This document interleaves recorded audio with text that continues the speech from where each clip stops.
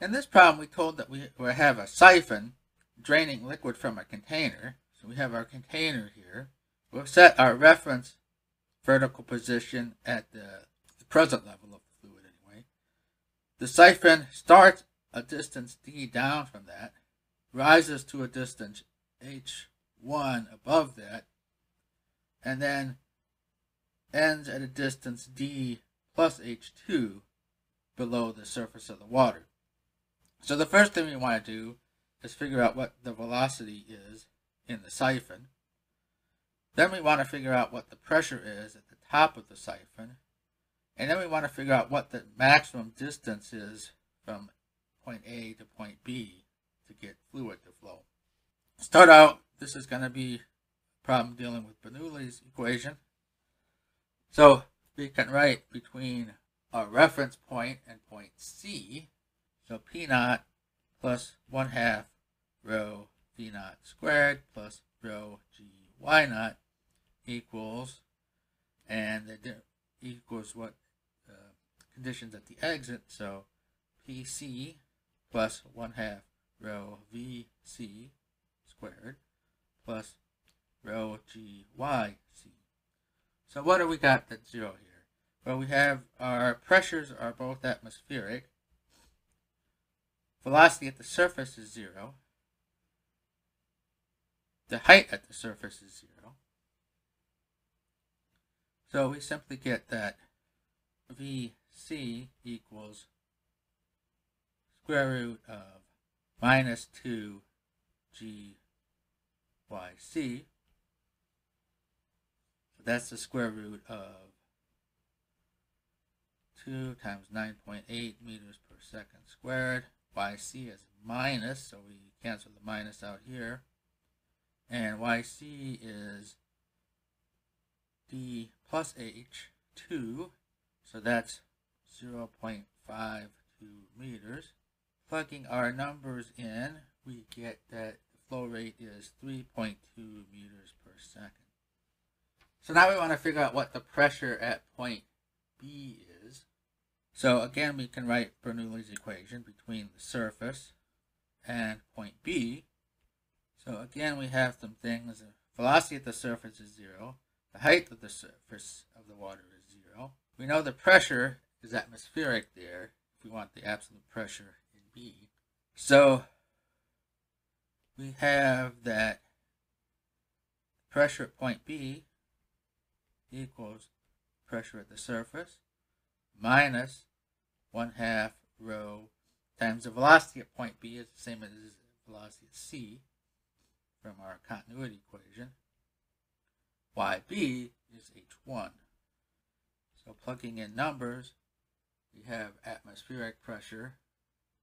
That gives us then, if we use VC from before, we get that minus 1 half rho VC squared is minus 2GYC. Then we get minus rho GYB.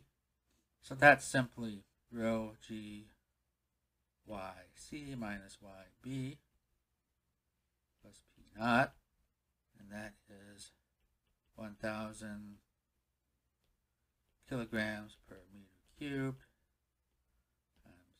times 9.8 meters per second squared. yc is minus d minus h2 yb is h1. And so using those all together, we get minus 0.77 meters. Plugging that in the calculator and using atmospheric pressure, we get that that pressure at point B is 92 kilopascals. Now we want to figure out what the maximum height is that we can have our siphon draining water from. Again, we can write Bernoulli's equations between the surface of the water and, uh, and point B.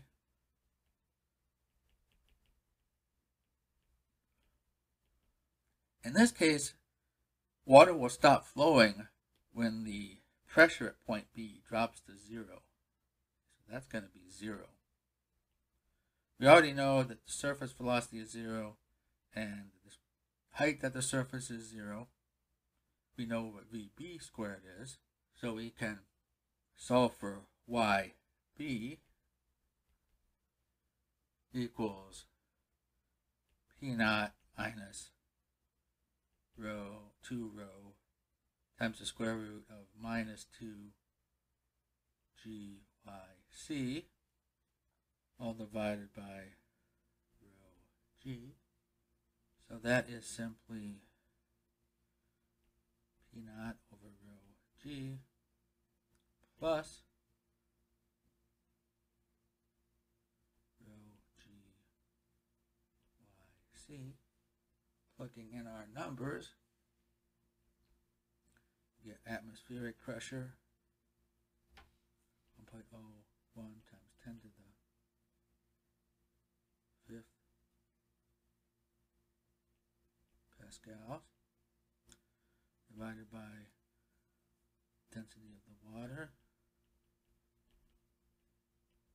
times gravity plus density of water times G times YC is minus D minus H2